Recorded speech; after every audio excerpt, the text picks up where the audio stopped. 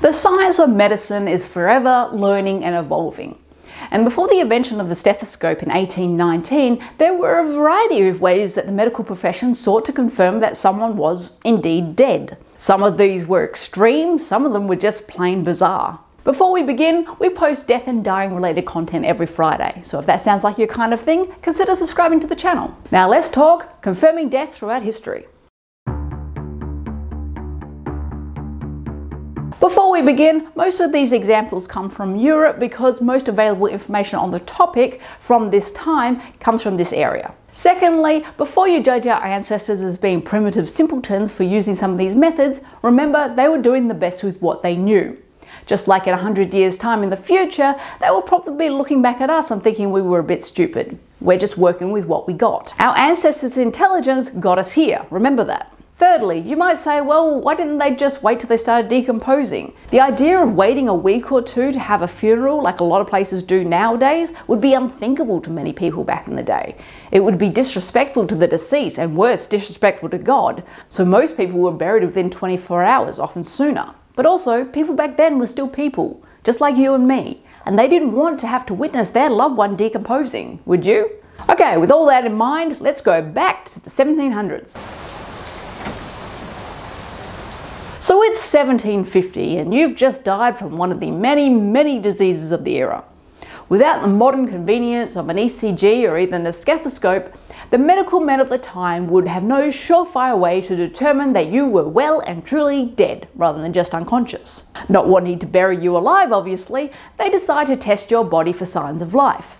And they had many ideas of how to do so, including smelling salts. Smelling salts, which release a small amount of potent ammonia gas, have been used to revive the fainted for centuries. It's been used throughout Roman times, the medieval times, all over the place really. Smelling salts revive fainted people by stimulating the inhalation reflex.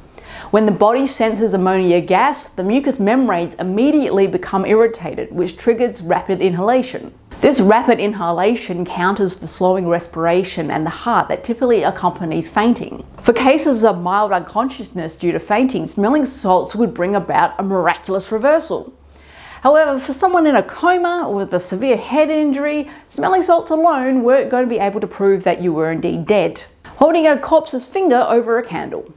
While 18th century medical practitioners didn't truly understand the nature of the human body and its circulatory system, they did recognise that blood circulation was required for life. Checking pulses was not yet widespread or standardised, but there were ways of testing the blood circulation that were widely practiced. The most common method was to hold the finger of the deceased over a candle. Not only would the heat from the flame possibly produce a reaction, but the light shining through the finger would show if the blood was circulating or pooling. In a genuinely dead body, blood pools in the extremities. Since the heart is no longer beating and circulating blood, it pulls in the extremities and low-lying areas. If a dead body's finger were examined over a candle and no pain response was produced from the flame, and the blood appeared to be pooling in the fingertips, making them darker than normal, an 18th century doctor would be relatively sure that the person was dead. Of course, we now know that some diseases and conditions can cause blood to pool while still alive, but the medical arts back then wouldn't have been able to save them anyway. Sticking a thermometer into the corpse's stomach. One of the more ingenious methods of determining death in the 18th century was the use of a thanatometer, literally meaning death measurer. Dr. Nasse designed this long thermometer in 1841 as a tool to more accurately gauge if an unconscious person was indeed dead. Aside from the obvious reaction that would be obtained by a insert of a massive thermometer into someone's stomach, the device also cleverly checked to ensure that the core body temperature was consistent with being dead. This method was likely beneficial for cases where limbs had gotten cold but the vital organs remained working and generating body temperature. Though if they were still alive, the infection that this was likely to cause would have killed them anyway as antibiotics weren't exactly a thing yet and puncturing someone's stomach isn't exactly great for the insides. Luckily, while we no longer need to take someone's stomach temperature to determine death, Nasse's method is still used in determining how long a body has likely been dead for. Inserting a heart flag. One popular German method of the time for testing death was to jam a long needle with a flag on one end of it into the heart of the suspected recently deceased. In this case, it is said that the flag would reportedly unfurl and wave as the heart was still beating. It isn't entirely clear how the inventor thought the mechanical beating of the heart would unfurl a flag attached to a dull needle, but regardless, the test was put into practice and used in the latter half of the 19th century. Using invisible ink and corpse gas. French physician Séverin Icard was always looking for ways to prove death. And in a test more fitting for the pages of a spy novel, he wrote, I am not dead on a piece of paper made from invisible ink, made of the acetate of lead. He would then place this paper by the deceased nose. One of the gases produced by the decomposition process is sulfur dioxide. When acetate of lead is exposed to sulfur dioxide, it causes the acetate to discolor and become visible on the page. While this was certainly a dramatic way to prove death, it was unfortunately extremely unreliable. First, sulfur dioxide can be exhaled from a living human with some dental diseases and tonsillitis. Second, not all corpses reliably produce sulfur dioxide in the quantities near the nose to trip Icard's test. An English doctor attempted to recreate Icard's method and found that only one out of every six corpses triggered the message. Sticking the corpse's finger in your ear. In the same vein as Dr. Encard, Dr. Leon decided to make a name for himself by inventing a new manner to test for death. His method involved putting the corpse's finger in your ear. Yeah, he argued that the involuntary muscle movements in a living person's finger would create a buzzing sound in the ear of a trained physician, while a dead person's wouldn't. I mean, points for originality, I guess, but this same dude said that you could detect the certain diseases through the same method. Brushing the skin. A professor by the name of M. Weber created a death test so revered he won 5,000 French francs for his work. Professor Weber argued that a corpse should have a patch of skin vigorously rubbed with a brush for a few hours after death. If the skin looked irritated, the person wasn't dead. If the skin took on a parchment-like appearance, then that was confirmation that they were deceased. Commoners and barber surgeons used a more practical yet irritating version of the test, rubbing the skin with an annoying or thorned weed. Anyone who's encountered stinging nettles would agree that the plant likely would raise people from the dead, especially if you rubbed it all over their chest and back. The reasoning behind this layman's test was similar to the professor's. If the skin on the body responded to the application of the irritating plant, it would stand to reason that the nervous and circulatory systems were still working in some way. Trying electric shocks.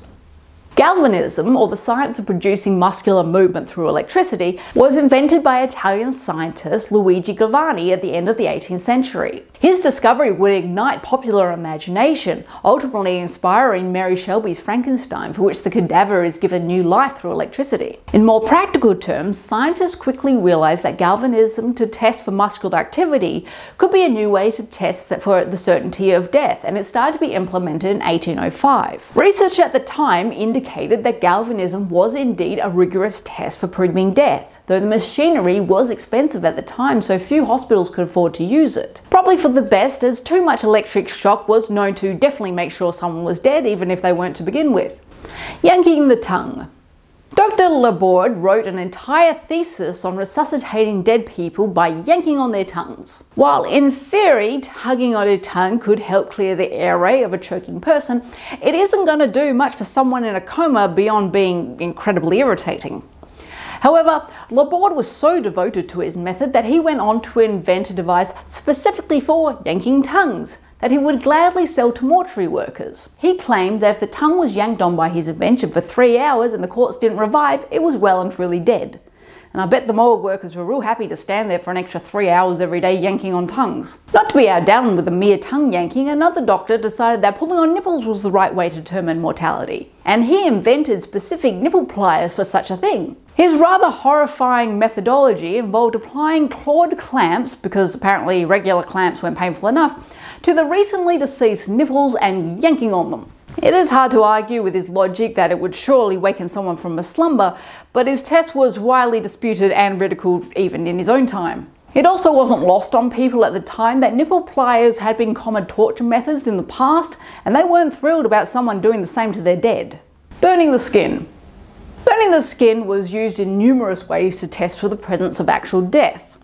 In the most popular form, scalding water was dumped on parts of the presumed deceased body. The belief was that the shock of boiling water would be so hot it would surely wake someone out of a non-lethal slumber. Other doctors burned the tips of noses with similar goal of shocking the presumed deceased out of a coma-like state. An English scientist by the name of Barnett took a more scientific approach to burning and determined that if the skin didn't blister when exposed to heat, the person was indeed dead. Barnett's method involved using scalding water on the arm of a presumed corpse.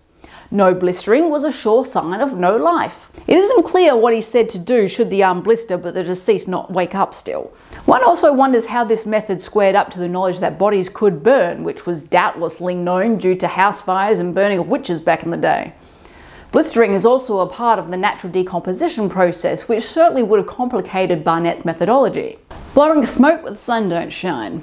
In an era where nicotine was still viewed as a wonder drug and often prescribed to asthmatics and pregnant women, it is perhaps no surprise that tobacco smoke enemas were considered a valid medical treatment. First derived as a treatment for drowning, tobacco smoke enemas were believed to warm the body of the drowning victim from the inside, also stimulating the instinct to breathe. Unfortunately, Cholera was rampant during the 18th and 19th centuries, and the whole mouth to butt way of performing these enemas ended up killing off a lot of medics. However, they powered on, and billows were invented merely to replace the need for human ventilation.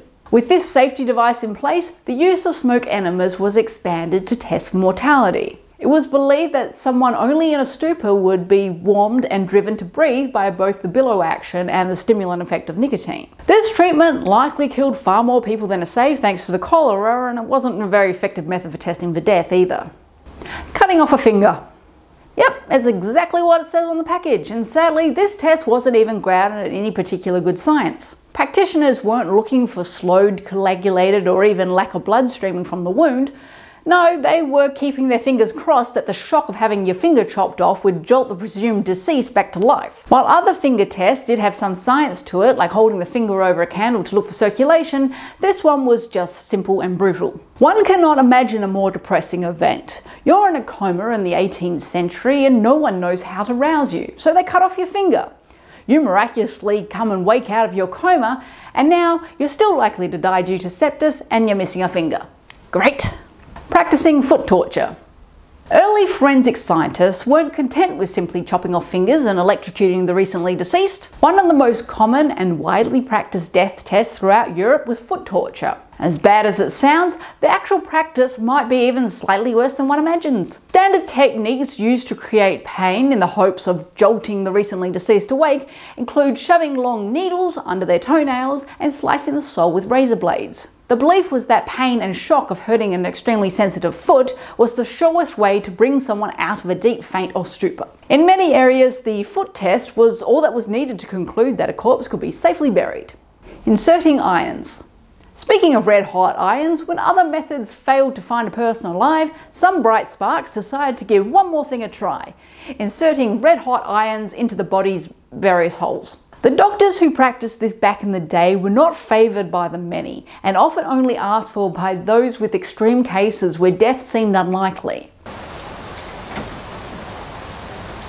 Naturally, with all these strange methods going about, people in the 17 and 1800s were often more than a bit fearful of being buried alive, so they came up with some other options just in case they weren't completely dead when buried.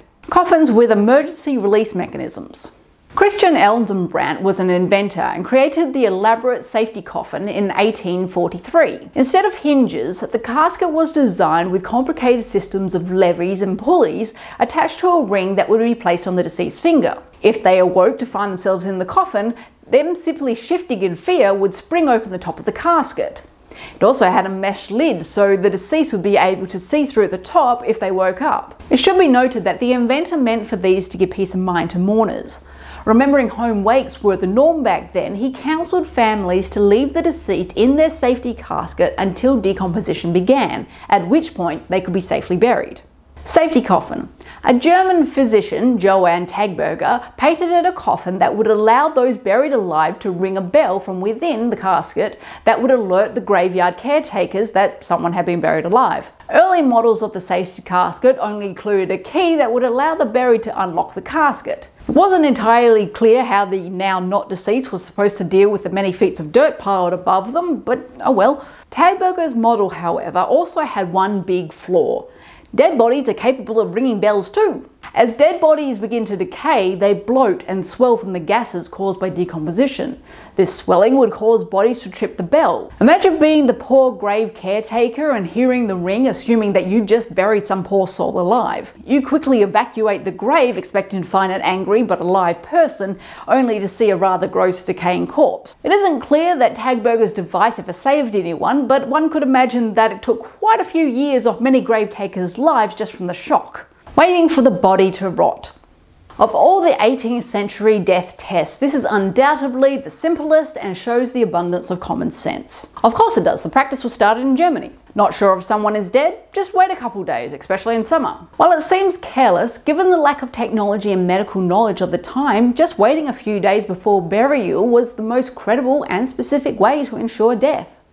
If the body showed no signs of rotting, then there was good reason to believe that the person wasn't dead. This practical idea led to the establishment of waiting mortuaries in Germany and throughout other countries in Europe, where nurses would watch over an entire ward of corpses to make sure that they rotted as they should. While this was effective, it wasn't terribly popular as nurses didn't much care for watching over an entire room of slowly decaying bodies. Despite packing the waiting mortuaries full of flowers in an attempt to mask the smell, it wasn't very beneficial. Loved one and mourners also didn't care for funerals featuring putrid bodies that had been left out unattended for several days. So while yes, it was sensible and practical, the practice of waiting mortuaries still left a great deal to be desired for mourners in the 19th century. Many other methods of confirming death were used throughout the past and throughout different regions. And while thanks to science it is now rare for someone to be buried alive, regrettably it does still happen around the world. And those are just the cases that we know about because the person was rescued. Who knows how many others haven't been found in time. And I suppose that's one plus for embalming, you will definitely be dead after that. And with that, go talk death.